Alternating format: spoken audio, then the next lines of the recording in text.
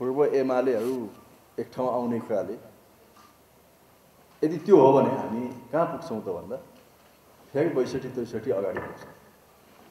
फेरि हामी एउटा द्वन्द्वतिर मुलुकलाई धकेलिरहेका हुन्छौँ।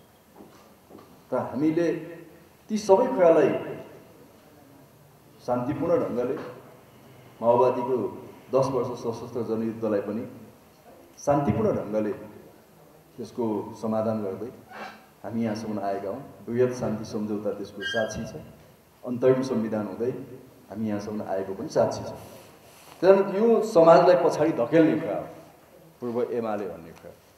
र त्यसमा पनि बहस गर्न सकिन्छ।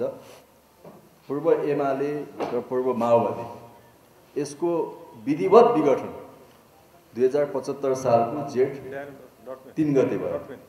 र त्यसमा हामीले पार्टीको विधानको प्रस्तावनामै के भन्यौँ भने आजसम्म क्रियाशील नेपाल कम्युनिस्ट पार्टी एकीकृत मार्क्सवादी लेनिनवादी अथवा एमाले र नेपाल कम्युनिस्ट पार्टी माओवादी केन्द्रलाई विधिवत रूपमा विघटन गर्दै हामी नेपाल कम्युनिस्ट पार्टी नेकपा बनाउन सहमत भएका छौँ भनेर त्यो विधानको प्रस्तावनाको पहिलो प्याराग्राफमै लेख्यौँ र त्यसमा हस्ताक्षर दुवै पार्टीका अध्यक्षको रूपमा केपी ओली र प्रचण्डले गर्नुभयो।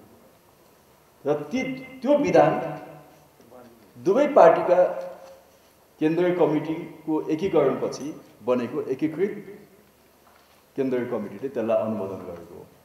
त्यहाँ त्यो एमाले भन्ने कुरा त त्यहाँ समाप्त भएर आइसकेको छ। त्यसैले त्यहाँ फर्किन सक्ने सम्भावनै छैन।